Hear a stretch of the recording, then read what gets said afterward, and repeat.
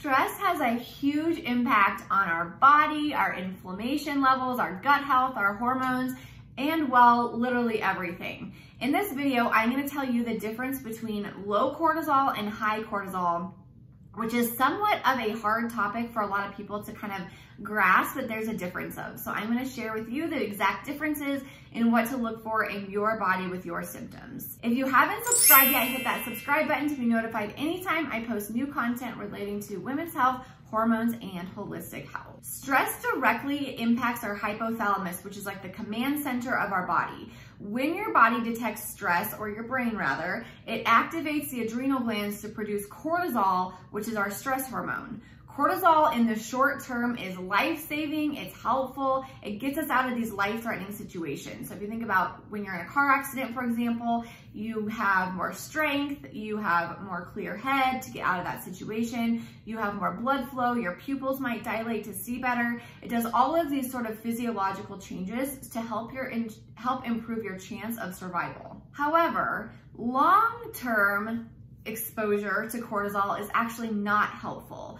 When we have these short-term exposures, like a car accident, being chased by a wild animal, these scary, like situational things, we need a break from that exposure to cortisol. We need our body to come down. We need our nervous system to come down. We need some calm after the storm.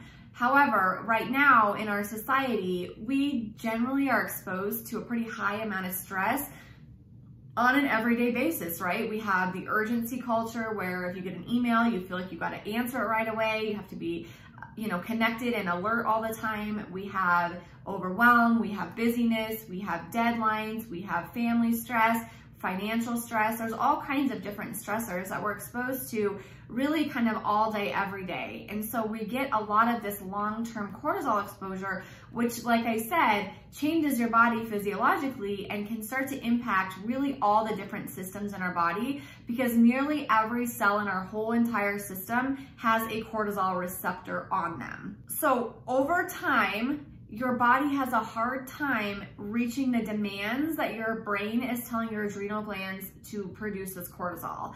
So your cortisol inevitably becomes high in the short term, but like I said, over the long term of weeks, months, and years, if you're just continuously exposed to that, your body can't keep up with that demand, and so you're actually, your cortisol level becomes lower. In this image right here, you can see, this is a Dutch test, which I love doing Dutch tests, and you can see where this person's cortisol has actually plummeted. And when I see this with my patients, I continuously ask them why. So a lot of other practitioners will say, okay, you need to take, you know, some herbs or supplements or even bovine actual adrenal to boost this up. But my question is always, you know, we can do those things, but my question is always, why? What What is the you know, exposure here? What's causing this? How can we kind of rip off this band-aid and heal the underneath part that's causing this? Because if we're just gonna use supplements and herbs, yes, they can help and they can support the stress response, but my job and my thought process through this is let's actually dive deeper into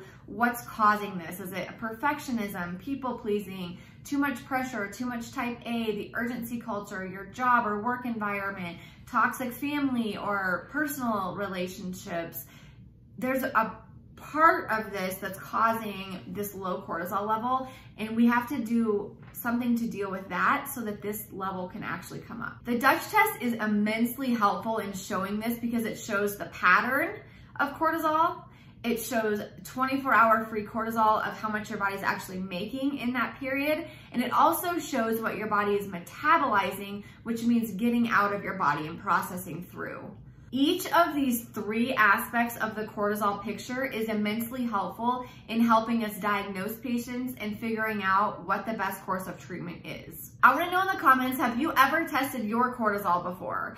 I wanna remind you that when we're testing cortisol, just like all the other hormones that we talk about with testing, there are some sort of nuanced conversations. So when you're testing cortisol, in a Dutch test, for example, this person tested four to five times to get this pattern. So we wanna know what happens in the morning, what happens in the afternoon, what happens in the evening, what happens overnight to your cortisol, so that we really get a good picture because like all other hormones, they don't just stay at the same level all the time. Your cortisol is part of your circadian rhythm, and so it starts low in the morning. You have what's called the cortisol awakening response, which is where it spikes and peaks, and then it slowly kind of dives down throughout the day to bottom out so that you can get good sleep at night. So if you just get one solid blood test, which a lot of physicians will order, you can use that to diagnose something like Addison's disease or Cushing's disease, which are really severe um, conditions of either low or high cortisol the whole adrenal fatigue conversation comes in where it's not quite diagnosable as Addison's or Cushing's, but it's also not quite in the normal range either. There's this gray area of either being too high or too low, in which can create a lot of symptoms for people, but it's not actually diagnosable as an autoimmune Addison's or Cushing's disease.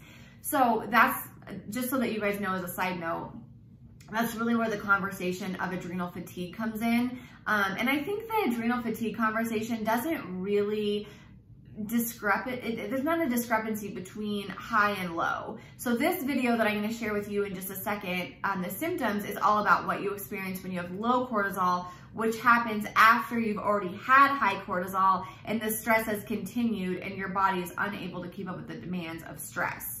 So you really, if you're wanting to test your cortisol, in my opinion, you really should start with a saliva or urine test so that you can test multiple times in the day so that we know what your pattern looks like. We can see that cortisol awakening response. We can see what it's like in the afternoon, the evening. It can impact so many other things and help you figure out your insomnia, low energy, PMS, you know, all of these other symptoms that we're gonna talk about. Okay, so symptoms associated with low cortisol. There are many and many of them are mighty because like I mentioned earlier, almost all of your body's cells have cortisol receptors. So we had talked about the fight or flight response when you're under like the stress of a car accident or something like that, how many different systems it changes. And so you have to remember that low cortisol levels over a prolonged amount of time are also going to have that same effect for you. So different things of low cortisol include a decreased sex drive, feeling like you are exhausted. I had this when I was postpartum with my second baby and it took everything I could to like get to the coffee pot. Like it just, you're so groggy and tired. Maybe you are having a cortisol awakening response, maybe you're not. And I also wanna remind you guys that low cortisol can change throughout the day. So based on the pattern of like the Dutch test or your cortisol pattern, you could have it low in the morning, you could have it low in the afternoon, you could have it low in the evening. It doesn't just have to be low in general, it can be low at certain parts of the day. A lot of people have low cortisol in the afternoon, which can create a huge afternoon energy crash. So afternoon energy crash is another huge symptom of low cortisol. You can also experience things like anxiety, fear, feeling burned out. Another sort of hallmark sign of low cortisol are people that experience less resilience to stress. So maybe you felt like you were able to handle certain stressors that are regulars in your life okay before, and you just feel unable to handle them now. You feel like you're just so overwhelmed and kind of drowning in life that they feel like a big deal. One example that I've heard given a lot is if you're a mom, when kids drop Play-Doh on the floor, make a huge mess, you used to maybe be able to be like, okay, this is their kids, this is what happens.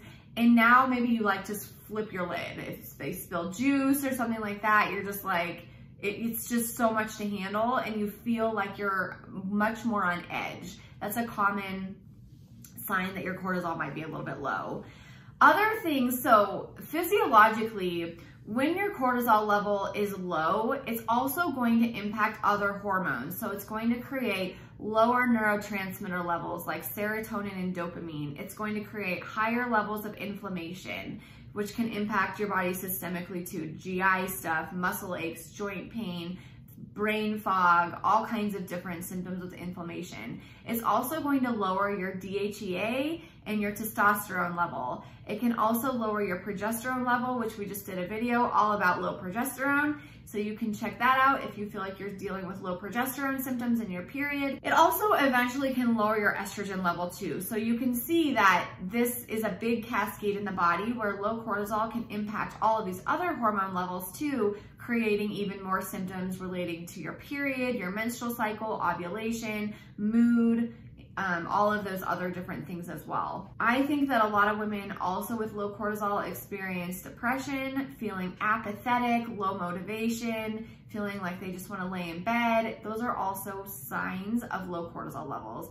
In which case, if you're experiencing any of these things, please get the right testing because it can lead to other things like, you know, depression in general. It can lead um, or be a sign of thyroid disease. It can be a sign of low mineral levels and iron. There's a lot of other things that it can be a sign of. So you really want to make sure that you're doing the right testing, working with a healthcare practitioner that will look at you kind of holistically and ask you about your life. If you're constantly stressed, constantly in burnout, constantly maybe a people pleaser or a perfectionist type A, you're having, you know, period problems and insomnia and feeling groggy and having brain fog, we need to know these sort of like head to toe symptoms to really paint the picture of what's going on. And a qualified holistic health practitioner can definitely do that for you. So in order to treat this, which everyone's like, okay, well, how do I treat it?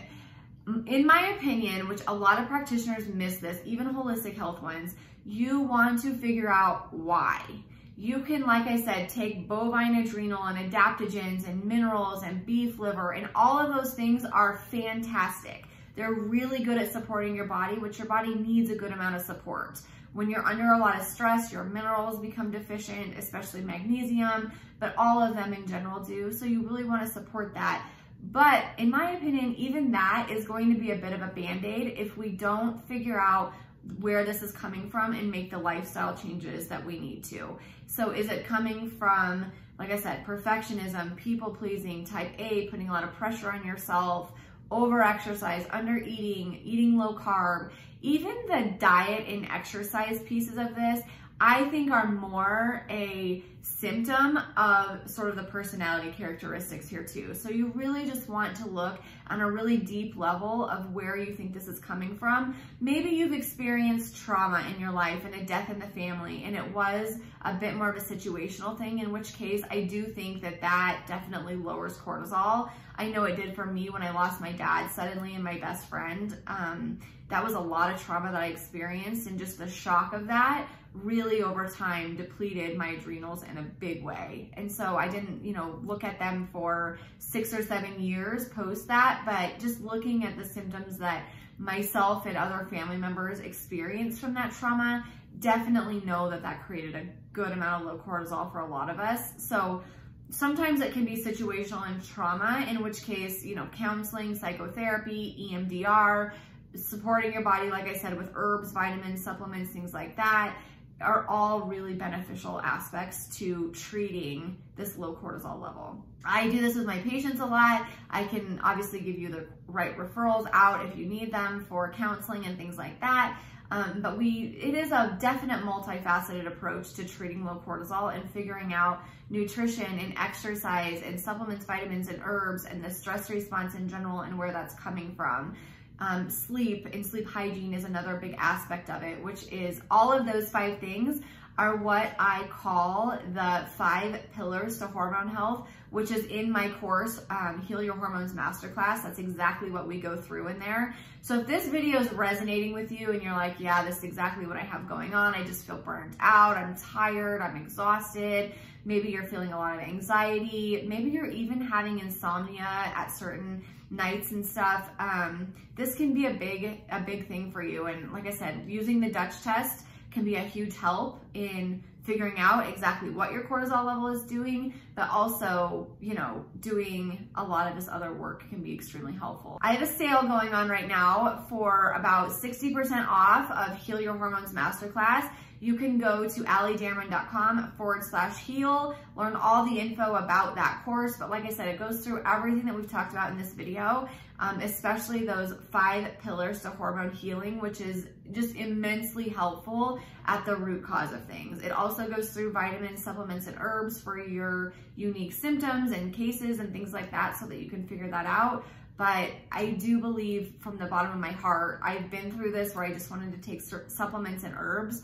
You got to figure out where this is actually coming from to actually heal in the long term. It's a thousand percent worth it. I hope this video was helpful for you guys. If you have friends and family who need to hear this information and this message, please share this video with them. I would love to support you and your family and friends through getting this information and education out.